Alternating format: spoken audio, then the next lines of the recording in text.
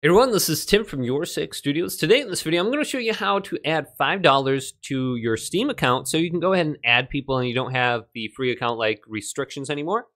And this is really easy to do. So if you just made an account, you want to go up to Steam, then go to Settings.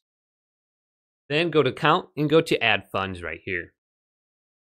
Then simply just go to Add $5 minimum, Add Funds, and you'll have to enter in a credit card or PayPal or something like that just choose one of these and enter in the option.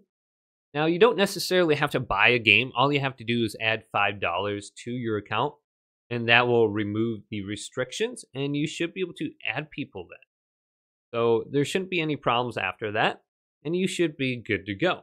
Otherwise, you can just simply have your friends add you.